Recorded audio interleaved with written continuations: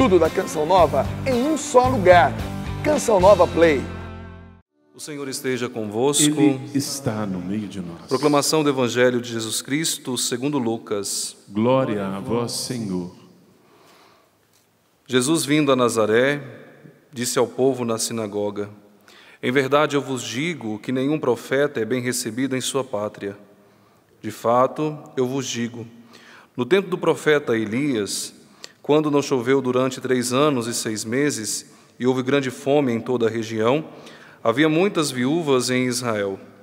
No entanto, a nenhuma delas foi enviado Elias, senão a viúva que vivia em Sarepta, na Sidônia. E no tempo do profeta Eliseu, havia muitos leprosos em Israel. Contudo, nenhum deles foi curado, mas sim Naamã, o sírio. Quando ouviram estas palavras de Jesus, todos na sinagoga ficaram furiosos.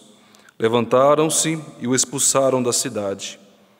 Levaram-no até o alto do monte sobre o qual a cidade estava construída, com a intenção de lançá-lo no precipício. Jesus, porém, passando pelo meio deles, continuou o seu caminho. Palavra da salvação. Glória a vós, Senhor. Podemos nos sentar cantando.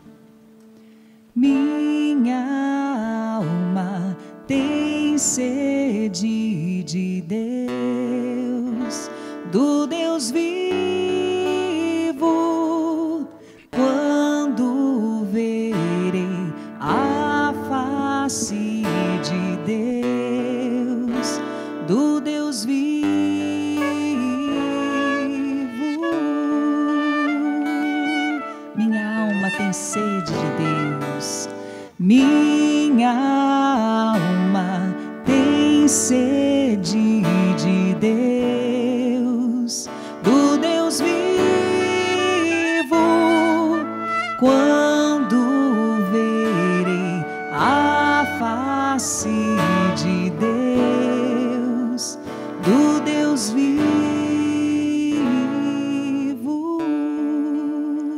Louvado seja nosso Senhor Jesus Cristo. Para sempre seja louvado. Papa Francisco, hoje, na missa de manhã, na Capela de Santa Marta, lá em Roma, ele colocou a seguinte reflexão: colocou assim, continuemos rezando pelos doentes. Penso nas famílias, falou o Papa hoje. Penso nas famílias fechadas em casa, as crianças que não vão à escola, os pais que talvez não possam sair, alguns estarão em quarentena.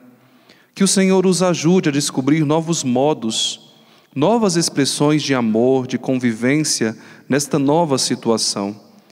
É uma ocasião bela. Olha o que o Papa disse. é uma ocasião bela para reencontrar os verdadeiros afetos como, com uma criatividade na família. Rezemos pela família, para que as relações na família neste momento floresçam sempre para o bem. Então, o Papa Francisco, nós nos unimos hoje às intenções do Papa Francisco, principalmente, ele coloca aqui que nós temos que rezar pelos doentes, mas hoje o pensamento do Papa Francisco, do nosso pastor maior na Igreja Católica, é o pensamento voltado para as famílias. E nós estamos nesse tempo bonito, rezando pelas famílias. Eu protejo a minha família, eu rezo por ela. Nós sabemos que Deus fala nos fatos. Nós sabemos que a providência de Deus guia em todas as situações e nós estamos acompanhando. Eu falei exatamente isso. Talvez aqui no Brasil não são tantas pessoas em quarentena por conta do coronavírus, mas nós temos esse sistema de comunicação. Tantas pessoas agora nos acompanham, Brasil e além Brasil. Nós estamos unidos, rezando realmente com você, com a sua família. E o Papa Francisco coloca que neste tempo a família tem que ter esses momentos de criatividade para estarem juntos. É providência do Senhor nesse tempo unir a família. Claro, tem todas as consequências, mas nós precisamos também ter esse olhar de fé, esse olhar positivo. Olha o que o Papa Francisco colocou: é uma ocasião bela para reencontrar os verdadeiros afetos com a criatividade na família. Talvez tantos pais que estão sendo privados de irem para o trabalho, tantos professores que nesses dias não podem ir, as crianças, neste tempo propício para você se dedicar a cuidar também da sua família. a estreitarem os relacionamentos, a estar com seu esposo, a estar com seus filhos, não somente ensinando a fazer as atividades da escola, mas para amar, para conviverem. Talvez no domingo é o dia que a família pode parar porque não tem o trabalho, Talvez é tão, é tão tanto corrido, tem tantas atividades a serem exercidas no domingo, é visitar um familiar de lá, é fazer uma coisa de cá, que a família não consegue se reunir. Neste tempo, o Papa Francisco está exatamente pedindo para que vocês tenham essa criatividade na família, para que a família possa estreitar as relações e que neste tempo floresçam sempre para o bem. É o desejo do Papa Francisco. Então, usando as palavras do Papa Francisco, eu também digo para todas as famílias que nos acompanham nesta hora. Esse é o momento de você, esposa, pensar naquela comida gostosa para fazer para o seu esposo. É o tempo bonito para você preparar aquelas guloseimas para os seus filhos, estourar uma pipoca. Né? Então, tem que aproveitar realmente, porque senão a gente fica só no pessimismo. A gente vai murchando, vai ficando triste. Então aproveitemos esse tempo de estarmos com, no... com, os nossos familiares, com aqueles que nós amamos ali dentro de casa. E hoje a liturgia da palavra, esse texto de segundo, do segundo livro dos reis, apresenta-nos a história de Naamã, o general do exército do rei da Síria, um homem que teve tantas vitórias, um homem que comandava um exército, um homem que venceu tantas batalhas. Mas, contudo, o texto bíblico hoje, do livro do segundo, do segundo Reis, apresenta-nos que este valente guerreiro, é assim que diz aqui no versículo 1 do capítulo 5 do segundo Reis, mas esse homem valente guerreiro era leproso. Apesar de tantas vitórias, apesar de tantas batalhas vencidas, aquele homem era um homem enfermo, portava uma lepra. E essa lepra estava tirando a paz de Naamã. Até que a empregada da sua esposa, uma moça do país de Israel, fala à sua senhora sobre o profeta Eliseu, que poderia interceder para que Naamã pudesse ser curado. E ela avisa para que ele possa ir até este profeta, mas no entanto ele recorre ao rei de Israel, que quando sabe que Naamã está enfermo, por saber da sua da sua pequenez, ele rasga as vestes porque ele não, não se considera digno e realmente não pode ajudar Naamã. Mas, no entanto, Naamã, com toda a sua comitiva, vai até o profeta Eliseu para suplicar a cura para suplicar o restabelecimento físico, para suplicar a sua saúde. Eliseu, que já sabia que, o, que Naamã iria, nem recepciona em sua casa. O profeta sem educação, né? Deveria ter recepcionado o grande Naamã. Ele era chefe de um exército poderoso. Ele era bem quisto pelas pessoas, até mesmo pela empregada. Olha, eu, já, eu conheço um profeta que poderá te ajudar. Mas, no entanto, a providência de Deus, como eu disse, que conduz todas as realidades, fez com que o profeta Eliseu dissesse aos empregados, aos subordinados de Naamã, para que ele pudesse se banhar no rio. Não um rio famoso como os rios que Naamã conhecia, mas um rio sujo, gente numa água barrenta. Vai lá, desce e banha no Rio Jordão. Faz um mergulho lá sete vezes. Eu quero oferecer essa pregação para o nosso querido Padre Bruno.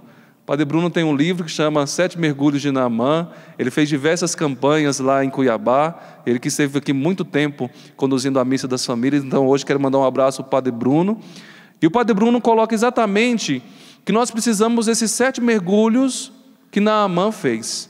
Gente, em primeiro lugar, uma cura que vem exatamente por banhar num rio barrento. Aqueles que já tiveram a oportunidade de ir na Terra Santa conhecem o Rio Jordão. Não dá vontade de entrar, não, gente. não dá vontade de entrar realmente. A água é barrenta, é suja. E ele pensava que o profeta faria uma oração, que gastaria um bom tempo rezando, que seria extraordinária a cura dele. como se fosse um passe de, um de mágica. O profeta Eliseu rezaria e ele já sairia dali curado, restaurado e voltaria a cuidar do exército. Mas, no entanto, a pedagogia de Deus para Naamã era uma pedagogia, em primeiro lugar, da confiança. O primeiro mergulho de Naamã teve que ser um mergulho da confiança, de confiar na palavra daquele profeta e ser obediente. E ser obediente. E quando eu preparava essa homilia, eu me recordei muito. Talvez vocês não conheçam, muitos aqui, eu também não cheguei a conhecê-la, mas escuto as histórias, principalmente o Monsenhor Jonas nos conta, da tia Laura. Tia Laura morava em Lorena, ela que gostava de visitar os enfermos, não somente gostava, mas exercia essa obra de misericórdia. Ela visitava os enfermos e percebia que não podia fazer nada por aqueles que estavam doentes. E diz que teve um dia que ela manifestou essa angústia ao Monsenhor Jonas Abib. E o Monsenhor disse: Estende as mãos aí, tia Laura. Ela estendeu assim que me contaram a história. ela estendeu as mãos e o Monsenhor rezou, colocou as mãos sobre as mãos dela, rezou pedindo a tia Laura o dom de cura. E aquela mulher, a partir daquele momento, ela começou a rezar pelas pessoas, e as pessoas eram curadas. Mas a tia Laura, gente, a oração dela era uma oração muito simples. Eu me recordo de uma outra história que um bispo foi visitá-la, ele tinha muito problema na coluna, ele andava num fusquinha, para entrar era aquela dor que ele sofria, e ele foi procurar a tia Laura, ali em Lorena, para que ela pudesse rezar. E um bispo procurou a tia Laura, uma senhora tão simples, tão humilde. E ela pegou e acolheu o bispo, diferente de Eliseu, ela acolheu o bispo, e quando o bispo chegou, manifestou: Olha, tia Laura, tem tantos problemas, eu gostaria que a senhora pudesse interceder por mim. Ela, tá bom, chega aqui, senhor bispo. Rezou um Pai Nosso, um Ave Maria e um Glória ao Pai. A história diz que o bispo pensou, mas Pai Nosso, Ave Maria e Glória ao Pai, eu sei rezar. pai Nosso, Ave Maria Glória ao Pai, eu sei rezar. Aí diz que ele ficou de mira, só isso? mas só que daí ele percebeu a manifestação de Deus. Sempre quando ele ia entrar no seu fusquinha, as dores na coluna estavam lá. Depois daquela oração da tia Laura, ele já não sofria mais dores. Ele foi curado, gente, por um Pai Nosso, um Ave Maria e um Glória ao Pai. Deus, Ele pode realizar as suas teofanias, ou seja, as suas manifestações prodigiosas, como ele manifestou para o povo para tirá-los do Egito. Como no Novo Testamento nós encontramos Jesus que sobe no monte e se transfigura, uma outra teofania. Deus pode realizar as maravilhas, como nós encontramos várias vezes Jesus multiplicando os pães, multiplicando os peixes, mas Deus também. E isso é o bonito. Porque Deus age também no ordinário da nossa vida. Deus não espera simplesmente as coisas extraordinárias para que Ele possa se manifestar na nossa vida. No dia a dia, Deus quer se manifestar. No dia a dia, Deus quer nos convencer. No dia a dia, Deus quer realizar também os seus milagres e prodígios na nossa vida. Mas, infelizmente, tantas vezes nós, com a cabeça de Naamã, nós achamos que Deus só manifesta se for aquela oração superpoderosa também. Mas na nossa oração fiel e perseverante de todos os dias, Deus quer se manifestar. Padre Wellison, eu preciso ir numa missa que seja estrondosa, porque lá Deus vai me curar. Gente, na nossa missa do dia a dia, escutando a palavra, recebendo a Eucaristia, ali é manifestação ordinária de Deus, que Ele também quer se manifestar, e Ele se manifesta, só que tantas vezes nós não vemos. Mas Ele está agindo. Que Deus pode utilizar daquele momento de acampamento, de uma oração que nós estamos aqui, uma campanha especial para as famílias, Deus também quer se manifestar. Mas, no entanto, nós não vivemos somente de monte de transfiguração. Nós não vivemos somente daquela oração o tempo todo, rezando no poder do Espírito. Xalalalala. Eu moro com o padre Roger Luiz. E tantas vezes nós nos encontramos lá na capela de manhã. Gente, o padre Roger pega o seu breviário e vai rezar como eu também. O tempo todo ele não está rezando com as mãos levantadas no poder, não. Mas no dia a dia ele está mantendo essa oração, no dia a dia ele está colocando essa lenha ao fogo, para que o fogo esteja aceso. E nós às vezes pensamos assim, Padre Wellington, acho que eu não tenho mais poder na minha oração, eu não rezo com aquele fervor que eu rezava no grupo de oração, e no dia a dia? Nós precisamos manter essa oração também de perseverança no dia a dia, o terço não desprezarmos. A oração do terço é eficaz. Nossa Senhora ensinou aos pastorinhos de Fátima, aquelas criancinhas, para que pudessem rezar. As mortificações que nós fazemos no dia a dia, isso tem um valor perante Deus. Teve uma vez Logo quando eu comecei a minha caminhada na renovação carismática católica, eu trabalhava de office boy. Eu rodava o Jataí inteiro andando de bicicleta.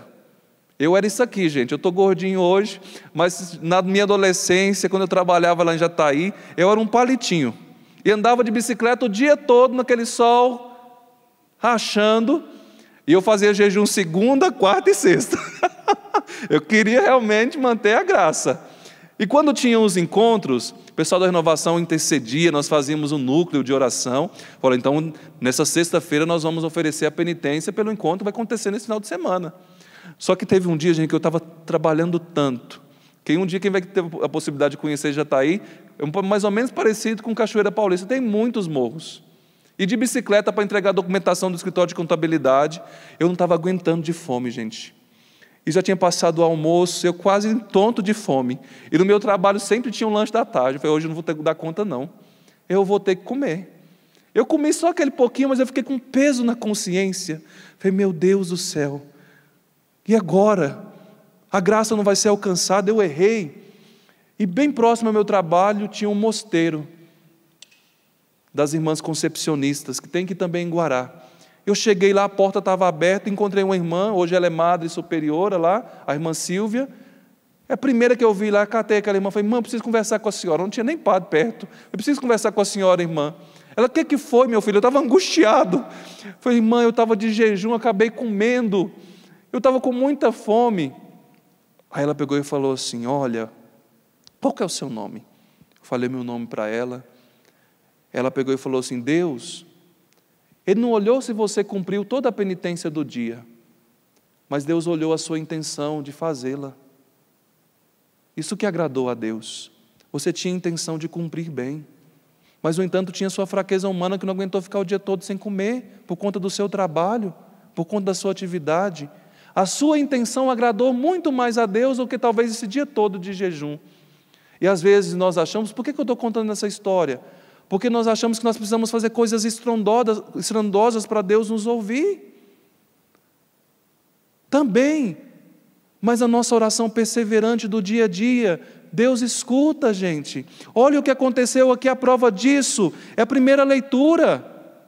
Por sete vezes tomar um banho num rio sujo, sete mergulhos, e depois que aquele homem realizou aqueles sete mergulhos, a pele dele se transformou como uma pele de bebê, como uma pele de criança. Naamã.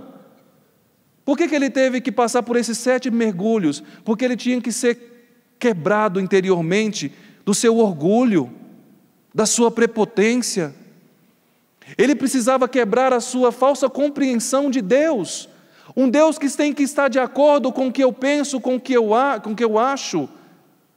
E quantas vezes nós também queremos colocar Deus na parede e falar, só tem que realizar desse jeito. Por isso que Eliseu nem foi buscar, nem foi falar com Naamã, porque já sabia da dureza do coração de Naamã. Naamã iria questioná-lo. E veja que quem falou com Naamã foram os servos. Olha, mas se ele tivesse pedido para você fazer coisas extraordinárias, você não faria? Agora descer mergulhar no rio, você não faz uma coisa tão simples. Gente, essa leitura hoje quer exatamente nos colocar nessa realidade do simples de Deus. Deus é simples. Deus é simples. Olha o Evangelho de Jesus Cristo quando ele estava sentado perto da coletoria de impostos, onde as pessoas colocavam tudo aquilo de pompa, de muito dinheiro, de muito dinheiro porque achava que era isso que ia comprar Deus. E chega uma viúva e coloca uma moedinha. E Jesus fala: ela foi a que mais doou, porque ela fez de coração. Quantas vezes nós achamos, infelizmente, em muitas igrejas aí, querendo vender Deus. Muitas igrejas, gente, a gente acompanha pela TV, para a pessoa subir ali no, no palco, a pessoa tem que pagar mil e mil. E Deus oferecendo a todos nós a sua misericórdia de graça. Deus não se compra. O nosso dinheiro não compra a graça de Deus. Até mesmo uma oração que tem um prefácio eucarístico que fala do louvor, o nosso louvor, gente, nada acrescenta daquilo que Deus é. A nossa oração nada acrescenta daquilo que Deus é, mas nos aproxima dEle. A nossa oração nos coloca diante de Deus. A nossa oração vai nos transformando, mas à medida que eu vou permitindo também que essa oração não seja uma oração estéril, que não seja uma oração de boca para fora, que não seja simplesmente só para cumprir preceitos, mas que seja uma oração que me aproxima de Deus. Deus, Ele está querendo ver de nós realmente um coração sincero, gente. Um coração contrito, como o coração de Naamã teve que se transformar. Aquele homem foi quebrado no seu orgulho, aquele homem foi quebrado na sua vaidade. Não simplesmente Deus queria realizar uma cura exterior no coração daquele homem, na vida daquele homem, mas Deus queria realizar a cura de sua alma. Basta nós terminarmos de acompanhar aqui a primeira leitura. Olha o que aconteceu com aquele homem lá. Estou agora convencido que não há um outro Deus em toda a terra senão o que há em Israel. Era um homem pagão. Mas porque teve a coragem de se dobrar diante da profecia de Eliseu, aquele homem foi curado, não somente no seu físico, mas aquele homem foi curado na sua alma, aquele homem passou a adorar Deus. Aquele homem passou a servir a Deus. E pensa, um homem que é restaurado no seu corpo e na sua alma, quantas pessoas foram pelo testemunho também de Naamã? Ele era chefe de um exército. E muitas pessoas com certeza viram Naamã se humilhar, descendo aquele rio de água suja para, se mergulhar, para mergulhar naquela água. A humildade daquele homem, a perseverança daquele homem, com certeza também atraiu o seu exército. E eu creio que não somente Naamã foi restabelecido na sua alma, mas também o seu exército. Porque com certeza uma pessoa que se encontra com Deus, que se encontra com Deus verdadeiramente, gente, não somente falando, mas o testemunho. A alegria daquele homem, imagina um homem que foi curado, um homem que foi restabelecido na sua saúde, ele começou a adorar Deus, ele começou a servir a Deus, e olha o que o testemunho de, desse Naamã foi parar no Evangelho. No templo de Eliseu tinha muitos leprosos, mas um somente foi curado, Naamã, o sírio. Jesus exaltou a fé e a perseverança de Naamã. Porque o que estava acontecendo com Jesus era uma situação muito triste. Ele estava sendo rejeitado pelos seus familiares, pelos seus conterrâneos. Porque eles queriam que Jesus começasse a fazer coisas extraordinárias. E às vezes também na igreja, nós também corremos o risco de vivermos assim. Eu gosto daquele padre porque ele fica massageando o meu ego. Eu gosto daquele padre porque ele aparenta ser muito bonzinho. Aquele padre fala o que eu gosto de ouvir. Mas infelizmente, quando nós temos que nos posicionar com a palavra mais dura, que nos corrige, quantas vezes nós apontamos o dedo para o padre ou para alguém que está pregando a palavra muito radical? Não é que é radical, é porque nós estamos sendo chamados à conversão, à mudança de vida, só que nós não queremos. E nós nos escondemos através, atrás da palavra do padre, atrás da palavra do diácono, de um pregador. Era assim que estava acontecendo com Jesus. Enquanto ele estava fazendo os milagres, gente, estava tudo bem. Era aplaudido, todo mundo queria segui-lo. Olha, o cara que multiplica pães, o cara que anda sobre as águas. Mas quando ele começou a mudar toda a forma de concepção que o povo tinha de Deus. Porque o povo de Israel esperava um Messias que morasse num, num palácio, que fosse rico, que pudesse libertá-los do poder romano. E Jesus, ao contrário, Jesus foi ensinando realmente a verdadeira religião. Olha o que Jesus ontem ensinou no Evangelho. Não é neste monte, nem no monte em Israel, mas o Pai agora procura verdadeiros adoradores que possam adorá-lo em espírito e em verdade. Gente, como agora o centro não é Israel mais, como agora o centro não é o templo de Jerusalém, mas agora o Pai procura pessoas que possam adorá-lo, não simplesmente em um templo feito por mãos humanas, mas o Pai que deseja ser adorado no nosso coração. O Pai procura adoradores, o Pai deseja adoradores que o adorem em espírito e em verdade. Jesus estava mudando a concepção religiosa. E você acha que ele não iria ser perseguido? Quantas vezes, porque as pessoas apontam a verdade para nós, nós passamos a perseguir essas pessoas?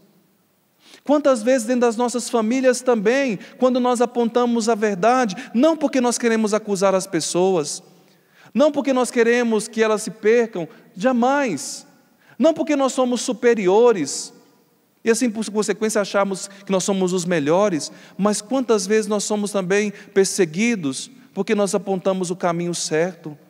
E nós não podemos, meus irmãos e minhas irmãs, arredarmos o pé. O próprio Jesus disse hoje: Em verdade eu vos digo que nenhum profeta é bem recebido em sua pátria. Nós tantas vezes, meus irmãos e minhas irmãs, não seremos aplaudidos, mas nós devemos manter firmes não somente falando, mas rezando. A perseverança de Naamã. Talvez lá no quinto dia ele dizia: Meu Deus, não está acontecendo nada. Tem mais alguns dias ainda para eu descer e me banhar nessa água barrenta aqui. Ô profetinha, mais ou menos, viu? Por que, que fez isso comigo? Mas em cada mergulho, aquele homem se transformava em mais humilde e mais perseverante, mais Deus ia fazendo no coração dele, mais Deus ia fazendo na história dele. Não vamos desistir, meus irmãos e minhas irmãs, porque nós estamos clamando as graças de Deus e elas não estão acontecendo como nós imaginaríamos. Não vamos desistir. A semana passada, aquelas pessoas que estavam aqui, ou aqueles que estavam nos acompanhando, qual foi o tema? Família, e era para nós nos tornarmos intercessores das nossas famílias. Talvez nós estamos intercedendo pela nossa família. Padre Wellington, é a segunda semana, tem mais ainda pela frente, vamos continuar. Talvez no finalzinho deste mês que nós veremos a vitória, talvez seja o ano que vem, mas nós não podemos desistir e continuarmos a nossa oração simples, perseverante, fiel, todos os dias sem desistirmos. Padre Wellington, se não acontecer, eu fico com a fé, crê no Senhor Jesus, e será salvo você e a sua família. E a fé é exatamente isso, acreditar naquilo que não se vê. Se eu já estou vendo, não preciso mais ter fé, louvar e agradecer a Deus. Mas enquanto eu não vejo, gente, Naamã, com certeza, não vi a sua lepra ir saindo no primeiro, no segundo, no terceiro mergulho. No último mergulho, que ele ficou restabelecido. Sejamos perseverantes, sejamos como Naamã. E o último mergulho, o livro do Padre Bruno diz: o último mergulho é o mergulho da vitória. O último mergulho é o mergulho da vitória. Mas só que aquele homem foi, passou, como o povo diz, no cadinho da humilhação. Quantas vezes nós também passaremos por isso? Eu quero encerrar essa homilia dizendo exatamente isso, gente. Não porque vocês estão nos vendo aqui pregando, você está vendo o padre pregar, vocês veem o Rubens e a Tânia, o Jales, os irmãos aqui cantando, tocando, que tudo na nossa vida é perfeito, mas nós estamos nessa perseverança, porque nós temos fé. Temos fé. Mas o padre Wellington, a família dele é bonitinha. Não, não é não, gente. Quando eu venho rezar aqui, eu sou o primeiro porque eu estou rezando para minha família. Quando eu penso na campanha, eu pensei na minha família em primeiro lugar. vou rezar, vou proteger minha família. E a bomba chegou. Eu falei, vamos lá, vamos continuar rezando, vamos desistir não. E talvez seja assim com você, nós não somos diferentes, nós não somos anjos, nada nos abala, ao contrário. O padre Jonas diz que nós pregamos o evangelho vivo e vivido. O que eu estou dizendo para vocês aqui, em primeiro lugar, é para mim. Padre Wellison, seja perseverante como Naamã. Humilhe-se. Rebaixe-se. Vença o seu orgulho. Vá nas coisas simples do dia a dia, porque ali está também a vontade de Deus. Você quer também essa perseverança de Naamã? Sim ou não? Então vamos ficar de pé. E vamos pedir para que o Espírito Santo possa nos mergulhar nas suas profundezas. Que o Espírito Santo seja esse que nos mergulhe no coração de Deus, para nós sermos curados, mergulharmos a nossa família nesta hora, para que a nossa família receba esses sete mergulhos. O sete na Bíblia é um número tão bonito, é o número da perfeição, são sete sacramentos que nos mergulham em Deus são sete os dons do Espírito Santo, os sete dias de plenitude, sete mergulhos, porque Deus não queria fazer uma obra e deixá-la inacabada. Ele queria realizar a cura completa na vida de Naamã. Como o Senhor também quer realizar a cura completa na nossa vida. E não somente, como o Padre disse, uma cura exterior, porque isso passa, meus irmãos. Uma hora ou outra nós somos libertos de uma realidade física, de uma doença, depois vem outra e nós vamos clamar a Deus, mas a cura da nossa alma, esse é o fundamental, a nossa perseverança, o nosso não abandono a Deus. Senhor, mergulha-nos. Mergulha-nos no teu espírito, Senhor. Nós queremos, Senhor. Mergulha-nos no Senhor cada vez mais nos sacramentos, que nós Mergulha, possamos perseverar na comunhão, para que possamos mergulhar, Senhor, realmente em todos os sacramentos que o Senhor nos dá. Mergulha no Senhor, Mergulha, mas acima de Jesus. tudo, mergulha no Senhor, no teu espírito. Queremos, E que o teu espírito, Senhor, nos faça perseverantes. Amém. Que o teu Espírito Santo nos faça constantes, Senhor. Eu desejo esse Eu quero. No Espírito Santo Eu de quero, Deus. Senhor, eu preciso.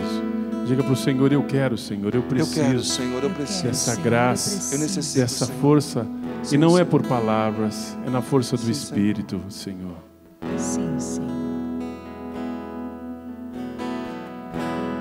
Quero mergulhar nas profundezas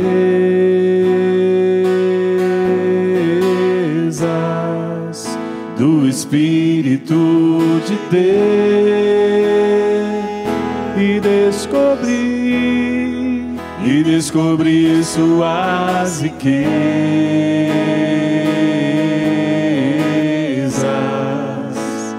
em meu coração. E descobri suas riquezas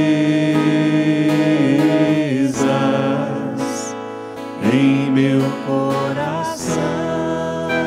Eu quero mergulhar, quero mergulhar nas profundezas.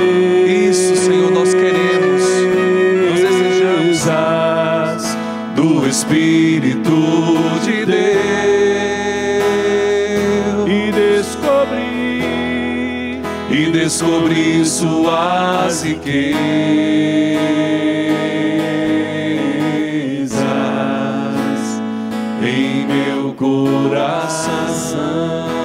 e descobrir suas riquezas e descobrir suas riquezas.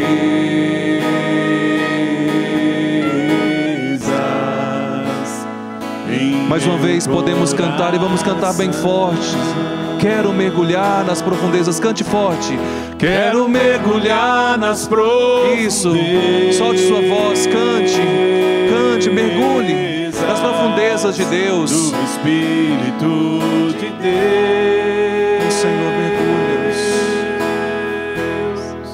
e descobrir suas riquezas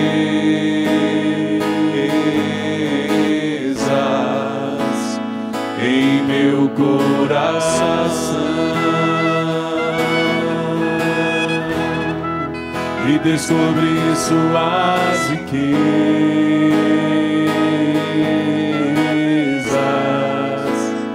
em meu coração. Tão lindo.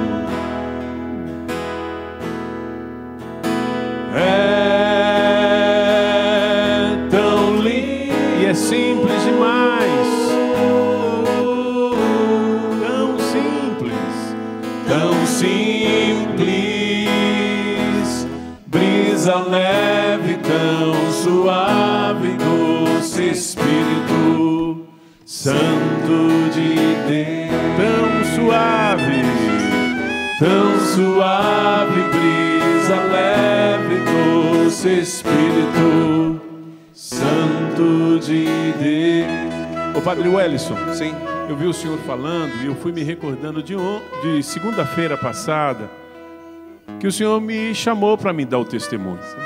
Quando nós estamos testemunhando e a gente fala o milagre que aconteceu na minha casa, de ver a minha mãe curada do álcool, que foi uma graça, foi uma bênção que eu alcancei de Deus, a gente pensa que foi assim.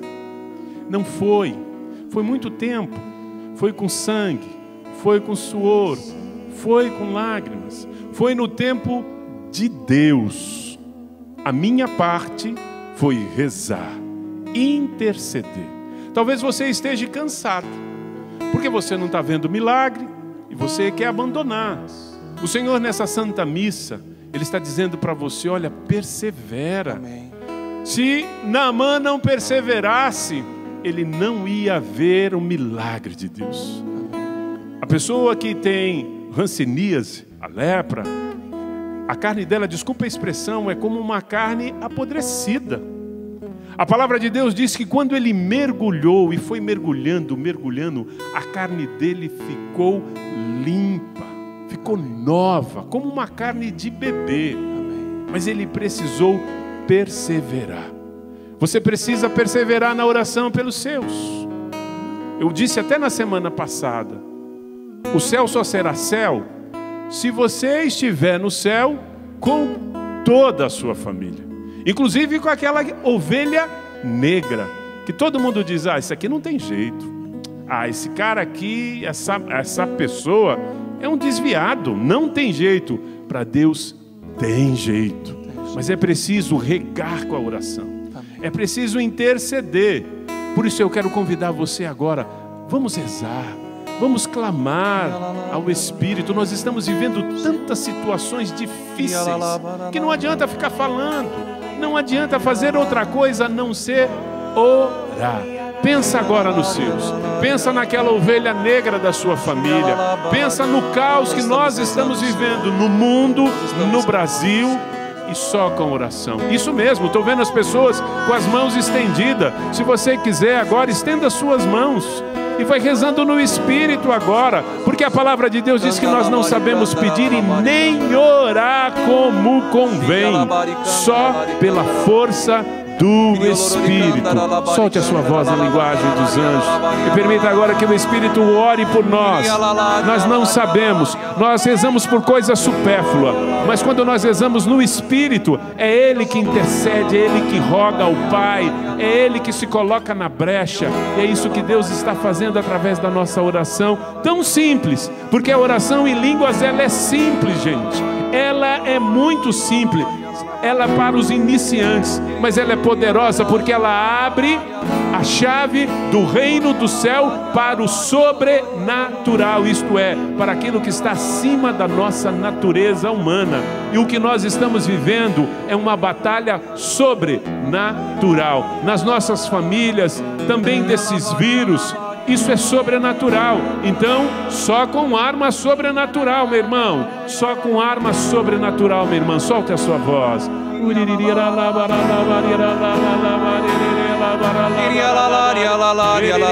Vai erguendo seus braços, como Moisés. Interceda. Interceda para que a sua família seja mergulhada no Espírito Santo de Deus. Muitas pessoas agora que nos acompanham em casa são mergulhadas no Espírito Santo. Recebem o poder do Espírito Santo. O sentimento que me vinha ao coração desde quando nós começamos a missa, até mesmo em muitos que estão aqui, é um espírito profundo de tristeza, de abatimento. O Senhor quer nos mergulhar no seu espírito. Confirmo, confirmo. O Senhor não quer nos mergulhar na tristeza, no abatimento, nas angústias, na preocupação. Muitas pessoas com espírito de morte rondando. O Senhor está nos libertando nesta hora. E eu sinto que realmente é uma hora de libertação, de graça de Deus. Principalmente pessoas em casa, muito angustiadas também. Abatidas, levante-se, Até mesmo na sua casa, você que está aí com a sua família, ou você que está sozinho, erga os seus braços e diga: Senhor, mergulha-me no teu espírito, mergulha-me, Senhor. Eu quero sair dessa tibieza, eu quero sair, Senhor, dessa mornidão, eu quero sair dessa tristeza, eu quero sair dessa melancolia. Muitas pessoas angustiadas agora são libertas. A palavra que me vem é que o Senhor está ressuscitando a fé. O Senhor está ressuscitando a esperança pelo poder do Espírito Santo. Então mergulha, mergulha realmente. Mergulhar não é somente colocar os pés. Não é somente colocar uma parte da perna, é se colocar por inteiro. O Espírito Santo está nos mergulhando. E ao mesmo tempo esse mergulho do Senhor vai nos lavando. Esse mergulho do Senhor vai dizendo como salmista: minha alma tem sede, o Senhor está nos dando água viva, mergulhando a nossa alma. Irialabar, ialabar, ialabalar, ialá.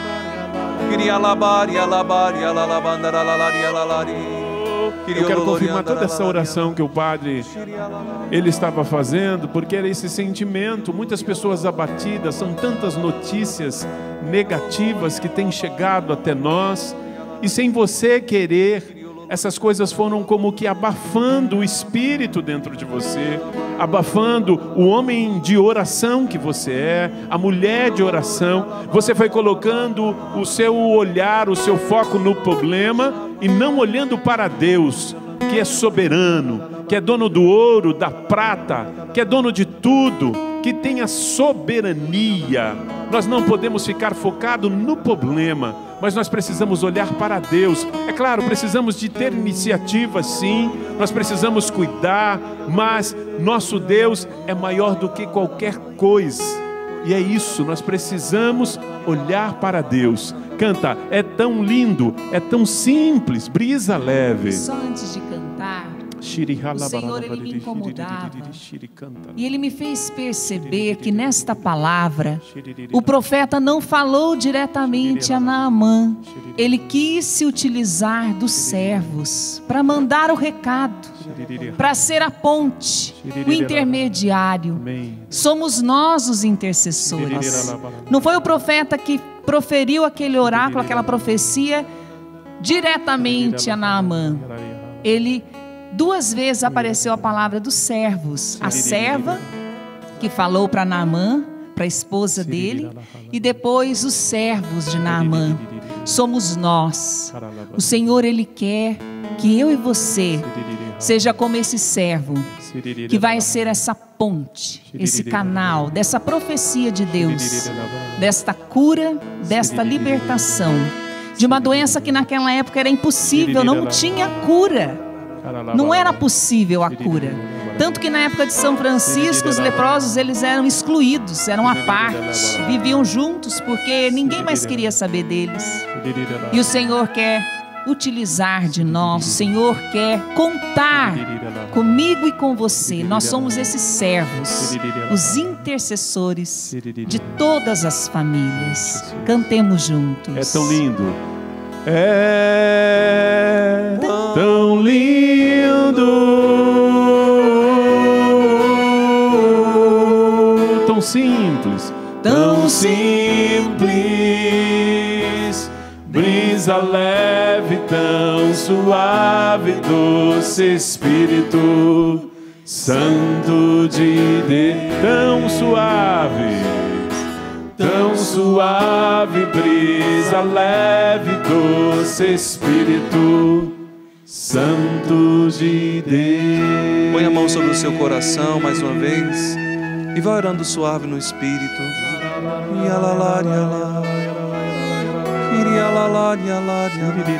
É uma oração muito simples.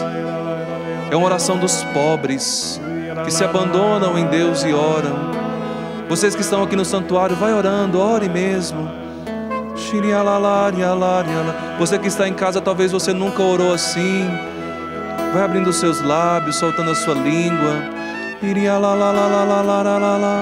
Que as crianças agora que rezam conosco sejam batizadas no Espírito, mergulhadas no Espírito. A sua casa seja toda mergulhada no Espírito. As portas, os cômodos que todo o seu quintal agora, o seu quarto, suas roupas, seus objetos, seja todos ele mergulhado no Espírito. Toda casa, Senhor, está rezando e realmente muitas casas que estavam mergulhadas na tristeza, mergulhadas na violência, mergulhadas na agressão física, são mergulhadas agora no Espírito. Nós que estamos aqui no santuário, imagine agora a sua casa, toda a sua casa sendo tomada pelo poder de Deus, pelo poder do Espírito Santo. Que possa ir embora, Senhor, toda maldição lançada contra as nossas casas. Todo ambiente de xingamento, de palavras duras, palavras malditas, amaldiçoadas, seja agora mergulhada no Espírito de Deus. Toda dificuldade na comunicação familiar, conjugal, entre os filhos, toda ofensa, todo palavrão, toda palavra de duplo sentido, agora mergulha, Senhor, no Espírito. O Senhor está devolvendo a confiança a uma mulher que reza no seu marido que saiu de casa. Amém. Foi embora, abandonou, mas você que estava perdendo a esperança, Deus agora, pelo seu Espírito, está fazendo com que você recupere a esperança. Nesta oração você se ergue de novo confiantemente, o Senhor fará, o Senhor dará vitória ao seu matrimônio. Quero pedir mais uma vez para vocês, meus irmãos, cantarem lá do início da, da música. Muitas pessoas vão cantar essa música e realmente se levantarão. Pessoas que estavam abatidas na cama, pessoas que estavam numa profunda depressão, o Espírito Santo tirará e já está tirando vocês. Essa palavra continua insistindo no meu coração de tristeza, casas escuras. eu confirmo isso, é muito forte isso, muito forte. E realmente, quando nós cantarmos, a luz de Deus vai entrar nessa casa, nesse coração. Pessoas que estavam com vontade até mesmo de tirar a vida, já estava com o remédio preparado para tirar a sua vida, em nome de Jesus. Você é liberta nesta hora, pela graça de Deus. Não se desespere, essa confiança que o Jarles trouxe é para você também. Vamos cantar, mergulhando a nossa vida, todo o nosso ser, todo o nosso país, todo o mundo, no Espírito Santo de Deus. Pelo Espírito nós venceremos. O Senhor disse: No mundo vez de ter tribulações, mas coragem. Que o Espírito Santo coloque essa coragem no nosso coração. Eu venci o mundo, nós também venceremos, meus irmãos e minhas irmãs, com Cristo e no poder do Espírito Santo. Cantemos, cantemos com confiança. Quero mergulhar nas profundezas. Quero mergulhar nas profundezas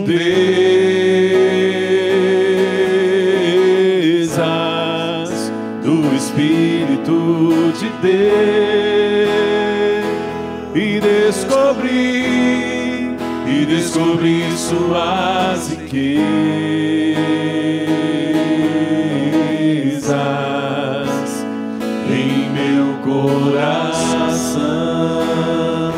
descobrir suas riquezas e descobrir suas riquezas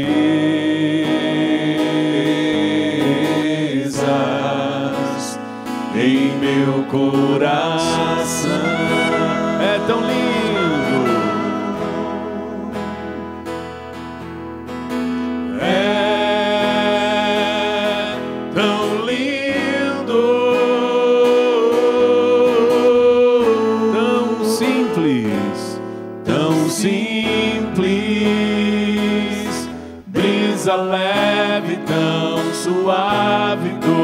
Espírito Santo de Deus, tão suave, tão suave, brisa leve, doce Espírito Santo de Deus. Tudo da Canção Nova em um só lugar. Canção Nova Play.